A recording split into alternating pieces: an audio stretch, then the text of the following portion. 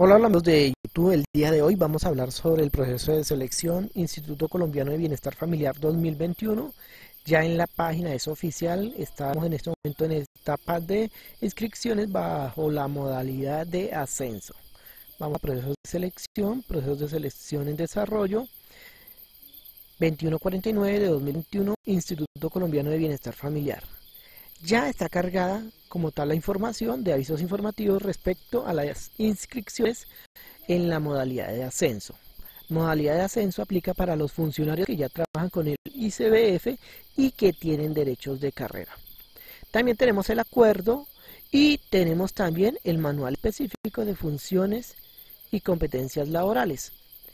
Nos centraremos hoy en este documento, en el anexo al acuerdo, como les dije, ya tenemos acuerdo, tenemos anexo, pero aún faltan las modificaciones a los acuerdos. Nos centraremos hoy en anexo a los acuerdos. Este anexo pues nos detalla más a fondo información respecto a lo que será esta convocatoria. Tenemos como tal que las inscripciones se van a hacer a través del aplicativo SIMO.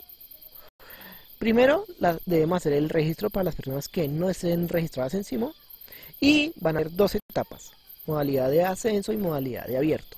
Siempre se comienzan en los procesos de selección la modalidad de ascenso para los funcionarios que ya tienen derechos de carrera y posteriormente se habilita la modalidad de abierto. El registro se hará a través de CIMO, donde uno podrá consultar e inscribirse a la OPEC o la oferta pública de empleos de carrera en la cual usted cumpla los requisitos de experiencia y de estudio. Hay empleos que no requieren experiencia y eso está más adelante detallado. Para esta convocatoria solamente se puede aplicar a un empleo ya que las pruebas se realizarán la misma hora y día.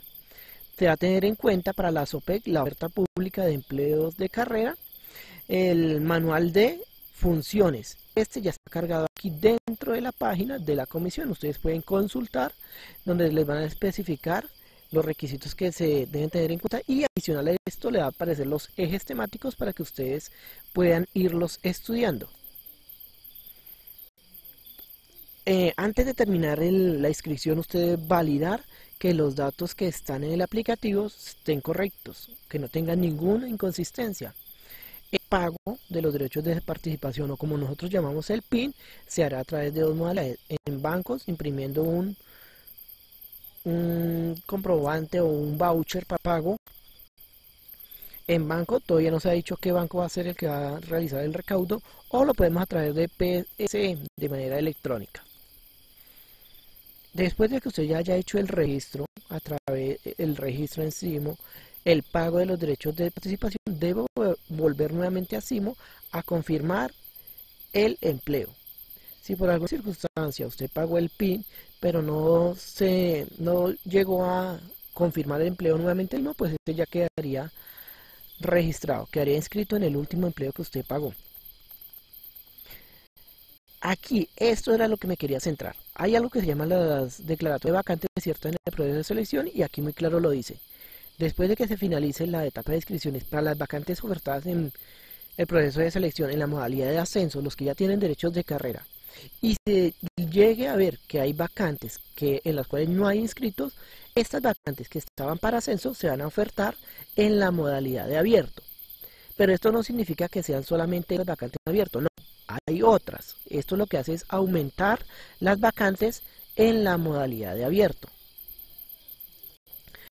La verificación de requisitos mínimos hace referencia a estudios y experiencia. Los estudios deben tener las certificaciones con base en los requerimientos que están aquí. Recordemos que hay varios tipos de educación y lo mismo la experiencia. Hay varios tipos de experiencia y deben estar esos certificados ajustados a los que se les está solicitando. Bien, también tenemos en este mismo documento, bueno, la experiencia laboral relacionada profesional esas certificaciones deben cumplir con el requisito que les están exigiendo. De lo contrario, si no cumplen con la totalidad o el lleno de los mismos, no serán tenidas en cuenta y eso es lo que nos quiere decir aquí. Dependiendo de las horas o de las características que tengan los certificados de experiencia o de estudios, esto se tendrá una clasificación, pero ese será tema de otro video. Tenemos también certificación de experiencia, que ya nos lo dice muy claramente, hay que leer detenidamente este acuerdo porque da información más detallada sobre los requerimientos en cuanto a experiencia y estudio. Recordemos que esos pueden ser tenidos en la etapa de requisitos mínimos, en el cual se les solicitará estudio y experiencia, pero esos, esos estudios y experiencia adicionales le van a permitir a usted posicionarse más adelante cuando estén los cuando se haga la valoración de antecedentes. Tenemos que nos piden para para los documentos cargarlos encima, la cédula de ciudadanía, los títulos académicos que usted tenga de bachiller, técnico, tecnólogo, mm, título de pregrado o de posgrado. En algunos casos se va a solicitar matrícula o tarjeta profesional en otros se va a, hacer, se va a solicitar certificación de aprobación del estudio. Bueno, todo esto lo vamos a encontrar aquí en este anexo a los acuerdos. Nuevamente reitero, es muy importante que las certificaciones cumplan con el lleno de los requisitos y de lo contrario, porque de lo contrario no van a ser tenidas en cuenta, no se las van a valorar. Después de que ya esté esta, se haga la valoración, se va a publicar los resultados de la valoración de antecedentes. Frente a esa, esos resultados de la valoración de antecedentes, pues usted podrá hacer una respectiva reclamación, pero solamente dentro de los dos días siguientes. Es decir, si usted mm, le publicaron los resultados el martes, tendrá máximo dos días hábiles, miércoles y jueves, para hacer la reclamación. Ya después de eso se vencerían los términos de ley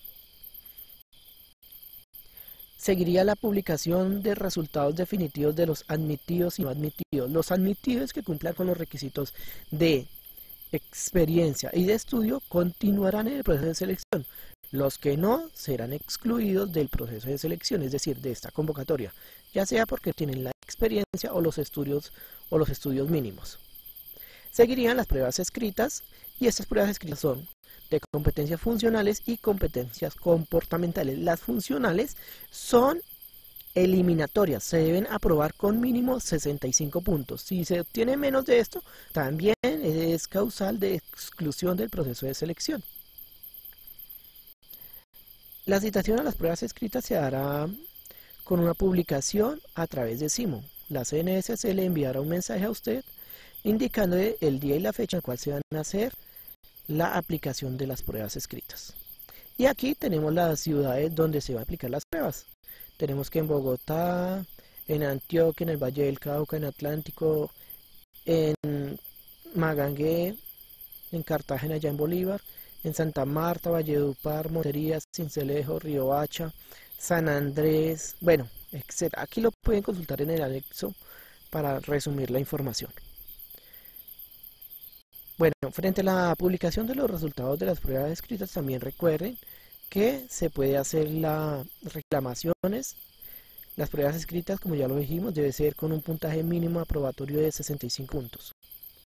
Se hace la reclamación de la, si usted considera que esas pruebas fueron escritas o hubo algo que conllevó a que sus resultados mm, de cierta manera no reflejaran sus capacidades, ya sea porque hubo un error en alguna pregunta o algo estaba mal estructurado, usted puede hacer la, reclamación durante los siguientes cinco días hábiles después de que ya se publiquen los resultados. Sigue la prueba de valoración de antecedentes donde se le evalúa, aparte de, lo, de la educación y la experiencia, estudios y experiencias adicionales a lo que se le solicitó en la OPEC de CIMO. Esto es fundamental, ya que esto en muchos casos puede ayudar a ubicarse dentro de los resultados consolidados, cuando ya se tienen en cuenta las pruebas escritas, las pruebas comportamentales y valoración de antecedentes de estudio y experiencia adicionales. Esto es importante porque esto a veces ayuda a subir dentro de los puntajes consolidados, valoración de antecedentes. Bueno, acá nos dice las equivalencias en cuanto a los estudios y las experiencias. Le da un peso, ya sea para los empleos que requieren experiencia, como también para los empleos que no requieren experiencia. Aunque en estos últimos, los que no requieren experiencia, pues no, no se hace valoración de antecedentes. Y la valoración de antecedentes es una etapa más que está dentro del acuerdo y que se debe ejecutar. Por último, los resultados definitivos de la prueba de valoración de antecedentes se hará también a través del aplicativo SIMO. Aquí faltó aclarar algo y es los resultados consolidados. No nos habla algo sobre eso, pero es importante tener en cuenta que hay los, los resultados consolidados, donde se tienen en cuenta los resultados de las pruebas, más en algunos casos la valoración de antecedentes y pruebas comportamentales. Y por último, confirmación y lista de elegibles, tenemos que como tal se ubican los puntajes de los más altos a los menores y se hace la posterior, bueno, la posterior audiencia aplicada donde se mm, solicita la, la escogencia de la plaza del empleo, dependiendo de las que estén disponibles.